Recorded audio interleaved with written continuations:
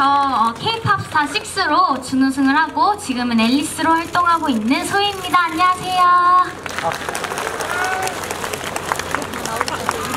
제가 장성에 처음 왔거든요. 근데 아까 저녁을 여기서 먹는데 정말 상다리가 부러질 정도로 이렇게 투어해 주시더라고요. 그래서 너무 감동을 했어요. 반찬에 전복도 나오고 홍어, 꽃게 엄청 많이 주시는데 너무 감동을 받아서 장성을 또 와야겠다 생각했어요.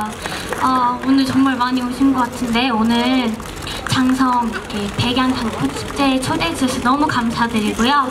어, 다음에 또 오겠습니다. 그리고 K-pop 스타 때 제가 피어나라는 곡을 했었거든요. 피어나요? 그 곡을 여기서 또 보여드리려고 합니다. 피어나요? 네. 감사합니다. 감사합니다. 다음에 또 오게 올게요. 네. 아 소리 너무 귀엽다. 귀여워. 한국 한국 더 갔으면 좋겠다. 뭐 이대하셨나요? 아 네. 세종님 때문에 예 알겠습니다. 저 케미에 조심하세요. 조명을 또 껐어.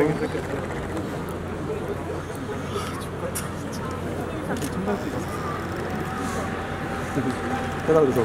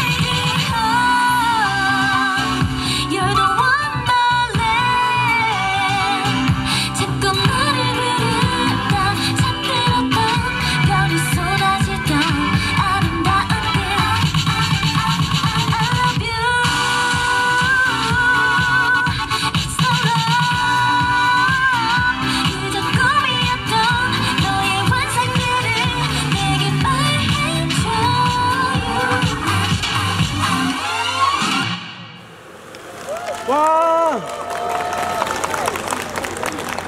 귀여워.